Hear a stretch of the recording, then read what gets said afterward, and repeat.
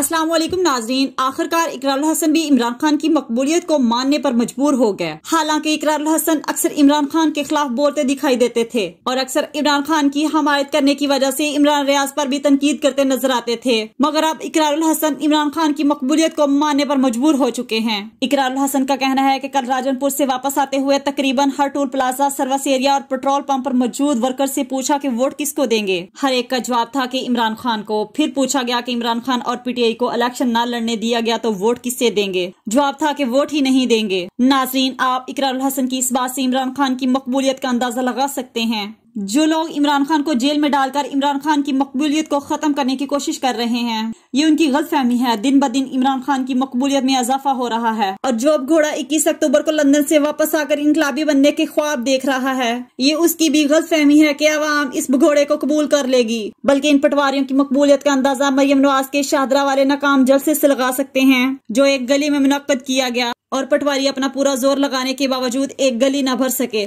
बल्कि जिन पटवारियों को बिरयानी का लालच देकर वहाँ लाया गया, वो भी जलसे में इमरान खान के नारे लगाते रहे। नाजीन, तमाम पटवारी पीडीएम और उनके सहूलतकार मिलकर भी इमरान खान की मकबूलियत का मुकाबला नहीं कर सकते, क्योंकि अल्लाह की मदद और पाकिस्तानी अवाम की दुआएँ इमरान खान के साथ हैं। नाजरीन इस हवाले से आपकी क्या राय है? अपनी राय का इजहार कमेंट बॉक्स में करें। मिलते हैं अगली वीडियो में, तब तक के लिए अल्लाह हाफिज।